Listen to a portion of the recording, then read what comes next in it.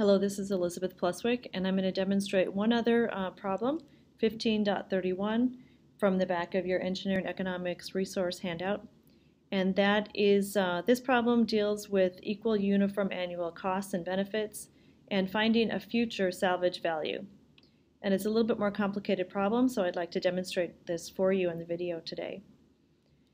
Problem 15.31 says consider this machine. The initial cost is $80,000. The annual operating cost is $18,000, so that'll be an annuity, annual, equal annual cost, for a term of 20 years. The question goes on to ask, what must the salvage value of the machine be at the end of the 20-year life to have an equivalent uniform annual cost of $27,000? Assume a 10% interest rate, and the salvage value is closest to so we're actually asked to find a salvage value.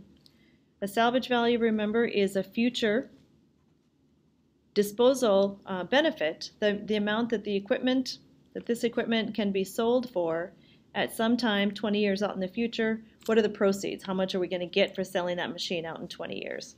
That's a salvage value. Since it's happening, a cash flow coming into us out in the future, we give it the value F. It's the future value, and that's what we're asked to find. The thing that's kind of funny here is this cash flows of we want the total machine to have an equal uniform annual cost of $27,000. Let me show you that on a timeline um, to fully explain what that would look like. We've got our initial cost of the machine going out. In today's dollars, present value, the cost machine cost 80000 um, Maintenance cost, equal uniform annual maintenance costs are 18000 per year for 20 years, and we're asked to find the future salvage value of the equipment such that the average cost of the entire uh, project running this machine equals an average cost of $27,000 per year. That's the equal uniform annual cost. Desired is 27,000. So what do we have to sell this asset for at the end of 20 years to make the average cash flows, including that future cash flow, average out to 27,000 per year. We've got an initial big cash out, 18,000 cash out for 20 years, and what is the what how much we have to sell that for at the end so that the average of all these cash flows averages together to be 27,000. So that's what we're asked to find and what we're given in this problem. Uh, so I've written down also that the interest rate is 10% and that the project has a 20-year life. So you can set this up as an equal uniform annual cost. Has to be equal to equal uniform annual benefits. We've got lots of costs. All these cash outflows are costs. And the benefit is the cash flow that's happening in the future. So actually, we can set this up um, this way, the equal uniform annual cost that we're trying to average out the whole project to is $27,000. So let's set that on one side of the equation alone and put all the other um, cash flows on the other side of the equation. $80,000 is one cash flow plus eight, you know, and that's an annuity. So, okay, wait, let's look for a second. We're, we're trying to find the annuity. So find A find an annuity given the present value, present cost of $80,000 at 10% for 20 years. I'm trying to analyze all these cash flows and turn it into annuity. So there's the first cash flow, $80,000 coming out. We want to turn it into an A, find A, given that P. Plus $18,000 annual maintenance cost. Now I have that just sitting alone. Why? Well, this is a this already is in terms of an annuity. We want our entire answer to be in terms of an annuity. This one already is an annuity. So we can just leave it alone. No translation needs to happen. It's already in the terms that we're looking for. That is an annuity.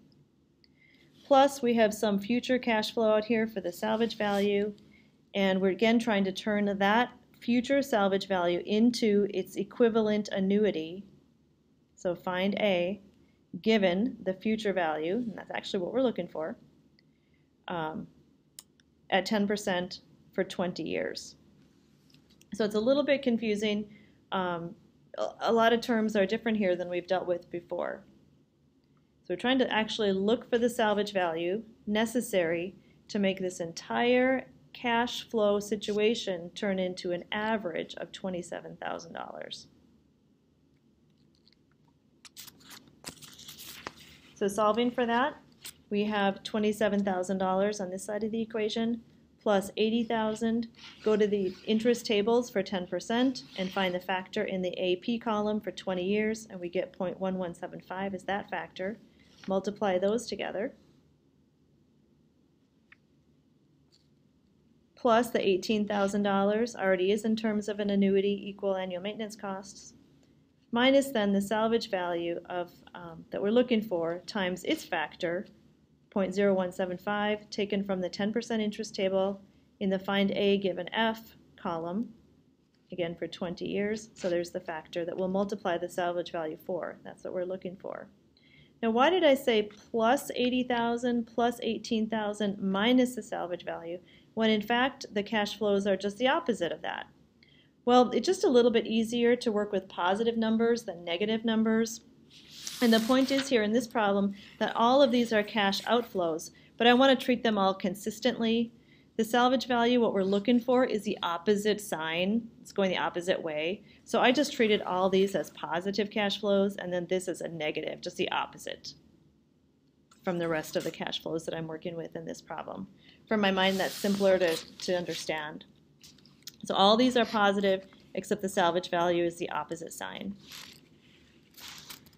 So solving then again for this situation, uh, just rearranging terms, we want the salvage value to be on its own side of the equation times its factor equals 80,000 times uh, this factor is 9,400 plus the 18,000 from here equals the salvage value on the other side of the equation. Then we divide both sides by 0.0175 to get the salvage value on its own, just a little bit of algebra.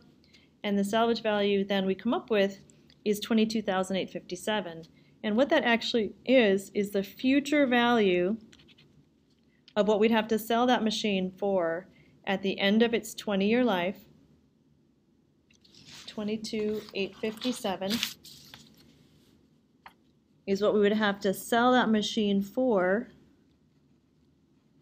in 20 years' time, given these cash flows over 20 years at a 10% discount rate or interest rate, that would make the cash flows of owning the machine and the other cash flow of getting, when you sell the machine, the proceeds received there, um, equal, equal average then would equal $27,000 average cost per year of owning that machine.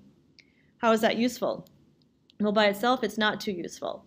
But you can do the same kind of analysis with a different machine, a substitute machine that has maybe different, uh, maybe a bigger or smaller initial cost, different level of um, maintenance costs for, you know, for the year, even a different um, lifespan, and do the same analysis for that alternate machine that you could also buy instead, and then compare, because you actually want to choose the machine that does the same job but choose the machine that has the lowest, we want the lowest equal uniform annual cost. Or alternatively, we'd want the highest equal uniform annual benefit of two um, machines that can both do the same thing or two projects that both accomplish the same purposes. We'd want the one with the lowest cost or with the highest benefit.